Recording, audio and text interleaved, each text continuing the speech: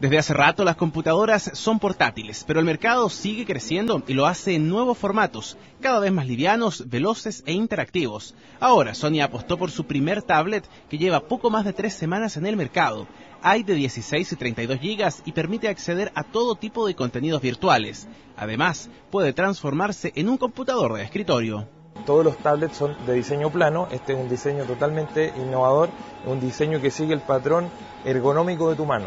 En Samsung apostaron por una pantalla de 7.7 pulgadas y mejorar la resolución, aumentando la calidad a la hora de reproducir videos o ver fotos. Y tiene otra característica que mejora la experiencia. Aparte tiene teléfono, entonces también uno puede usarlo con un teléfono no hablando directamente en la oreja, sino con un, tal vez un dispositivo Bluetooth. También en Samsung desde marzo tendrán a la venta uno de los productos que marcará la tendencia de este año, los Ultrabooks, más livianos que un notebook y sobre todo más veloces.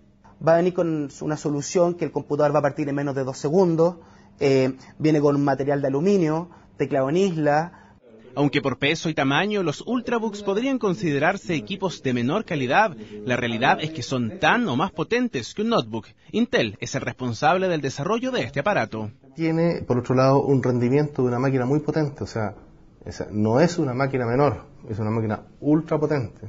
También tiene una alta duración de batería, o sea, en los notebooks hoy en día encontramos, no sé, 5 horas, 6 horas, esto va hasta las 10 horas características similares a las de estos iPad, solo que la creación de Steve Jobs también permite reforzar contenidos gracias a la unión virtual que existe entre todos los productos Mac. Tomas una foto con, tu iPhone y a los minutos aparece en tu iPad y en tu computador. Asimismo también las, aplicaciones que tú puedas bajar desde tu iPhone se van a bajar también, aquellas que sean para ambos eh, objetos, se van a bajar automáticamente también para el iPad.